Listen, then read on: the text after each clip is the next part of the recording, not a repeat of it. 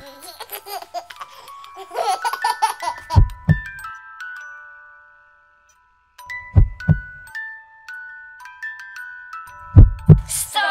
lat, sto lat. Ili.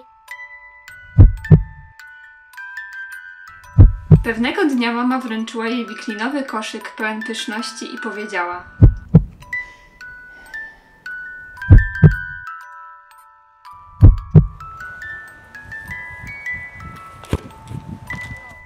Jeden pancerz mu zepsuł.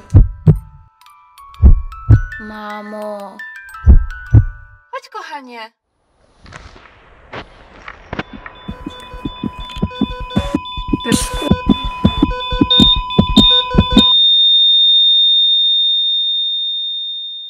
W Polsce codziennie rodzi się dziesięcioro dzieci z wrodzoną wadą serca. Przyjdź na koncert Wielki Rok dla Małych Serc i wspólnie pomóżmy tym maluchom powrócić do normalnego życia. Serdecznie zapraszam, Mateusz Ziółko.